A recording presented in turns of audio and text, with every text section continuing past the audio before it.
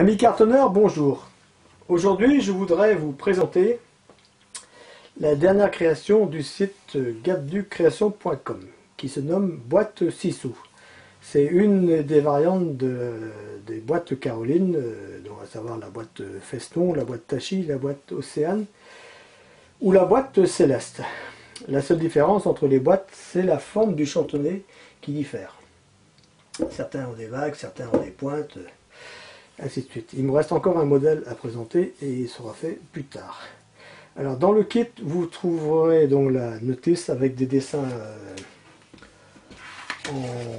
en 3D, un pas à pas, les cartons, le carton de fond et quatre côtés, les cale intérieure, la cartonnette euh, intérieure, la cartonnette sous boîte, les cartonnettes extérieures, les cartonnettes chantonnées intérieures et le couvercle qui est constitué d'un carton, euh, d'une cartonnette sous couvercle, une cartonnette chantonnée et la chute euh, de, la cartonnette ouverte du dessus, elle sert pour aller dessous. Et j'ai même mis une deuxième à l'intérieur. Voilà, et un petit bouton pour l'accrochage. Alors je vais vous montrer maintenant comment je monte cette boîte. Cette boîte euh, ne comporte pas de carton de fond euh, comme on le fait de façon classique. J'ai euh, remplacé le socle par le carton de fond.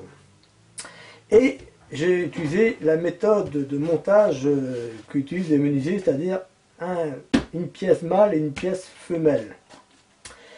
Les pièces, euh, on met de la colle dans le bas et sur les côtés, elles s'insèrent dans les encoches de la base.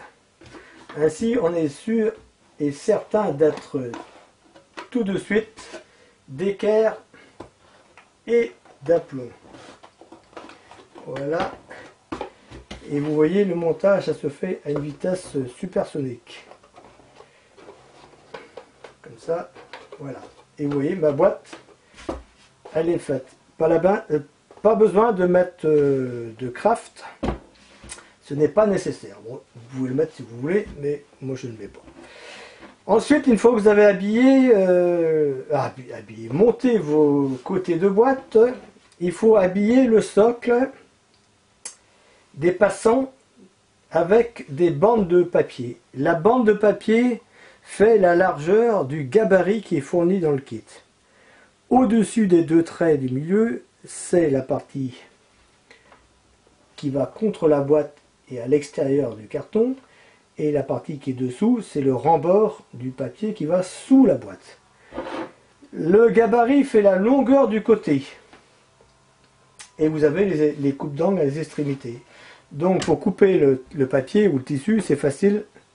On place son gabarit le long du papier. On coupe 45, 90 et 45 à droite et à gauche et on y va en tournant ou face à face avec des languettes, des oreilles de lapin si vous voulez.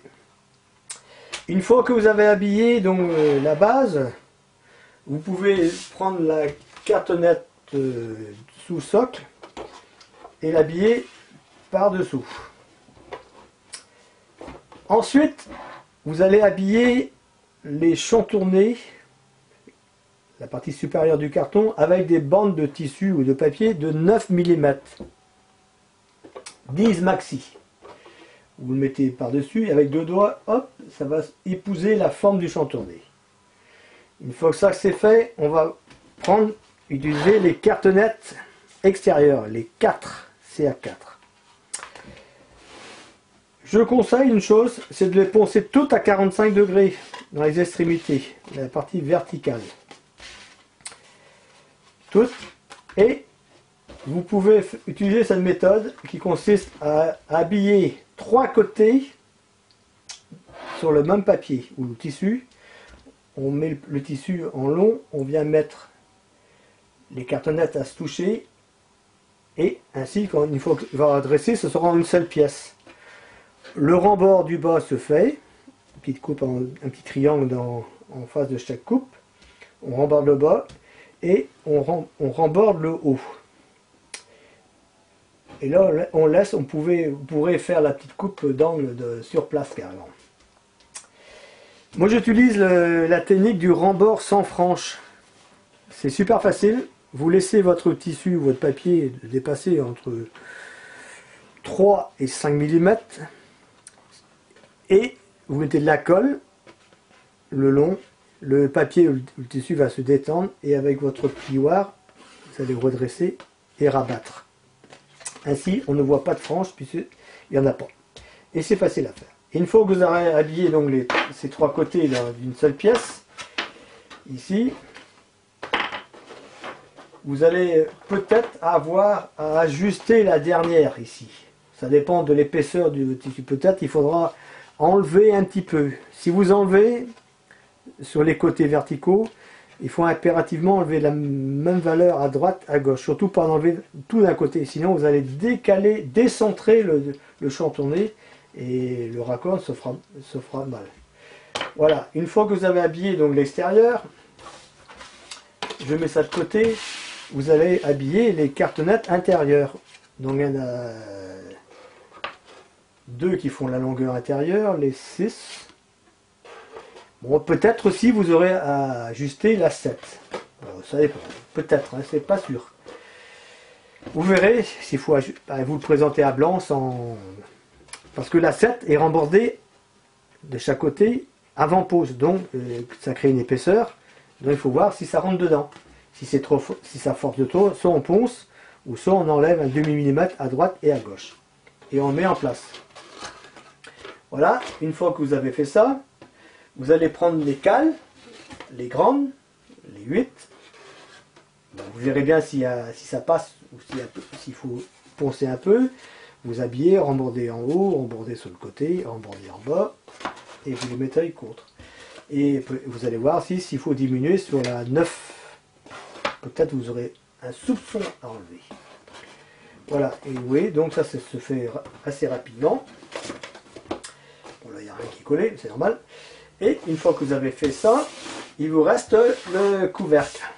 Le couvercle, vous habillez le carton, vous coupez au ras, c'est pas la peine de remborder, ça va créer une épaisseur et après peut-être ça va forcer. Ensuite, vous habillez celle-ci, rembordez, mais pas remborder à l'extérieur. Vous le placez dessus et vous rembordez le carton en même temps. Et pour, donc le papier viendra ici, vous allez mettre notre cartonnette par-dessus, qui va arriver là, pile poil. S'il faut, vous pouvez diminuer un petit peu celle-ci, d'un millimètre. Voilà. Et il vous reste celle-ci. Vous placez votre bouton dans l'axe et pour cacher la vis, vous mettez votre cartonnette, la CA13, habillée par-dessus. Et vous obtenez ceci. Voilà. C'était donc une petite démonstration de la boîte 6 euh, sous. Et je vous souhaite de jolies réalisations.